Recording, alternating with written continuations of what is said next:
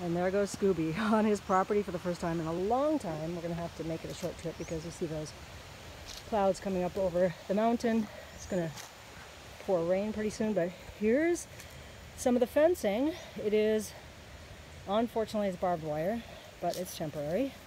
I do not like barbed wire. Nobody really does in the horse world, but it is all we could do. It's a matter of choosing your, there he goes into the, into the pond. Uh, it's a matter of choosing your, your evils.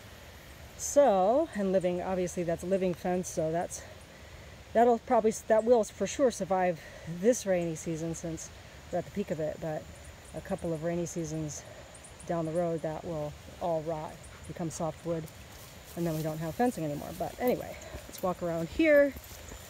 Uh, looks like, oh, looks like this is going to be a gate. So this is open here. There's more fencing here on the other side of this tree that they're living, what they call living fence.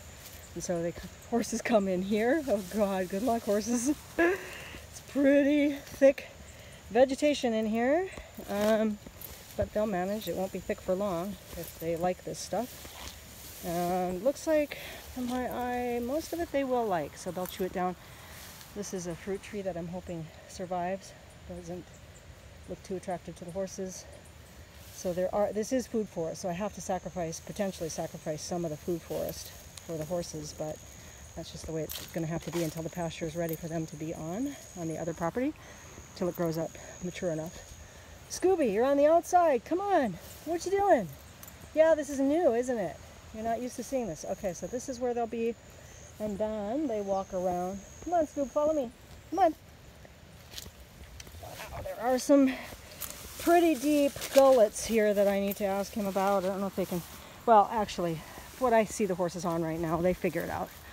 They learn to navigate pretty, they're not as fragile as we think they are. So while I'm stepping in holes here, and most of us, I think, in the horse world, in the Western horse world, we'd be horrified.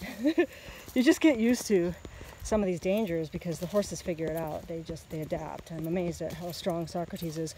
Carina, I don't have to worry about her. She's Costa Rican. She has all this figured out. So you can see here, they've dug the ditch, or I should say they, uh, yeah, I guess the ditch to reroute the water coming down so that it doesn't end at the shelter, which is at the lowest part of the property. Oh, look at this nice guava. Oh my God, I can't pass that up.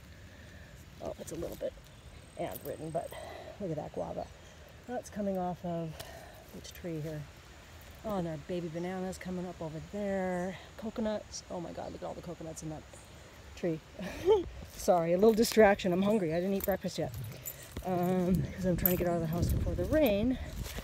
The inevitable pouring rain that comes. So here we go down to ta-da, Casa de Caballo, House of the Horses, at least temporary.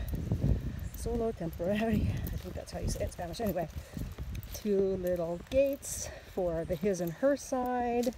Scooby, get out of that ditch. Now he's on the raw property in the ditch. Um, yeah, pretty nice. Pretty nice. There's the barbed wire. There's the extra barbed wire staged up in the tree there. Uh, Scooby sounds like he's in the ditch swimming. Uh, okay, I better go manage a dog here because somebody's walking near the property.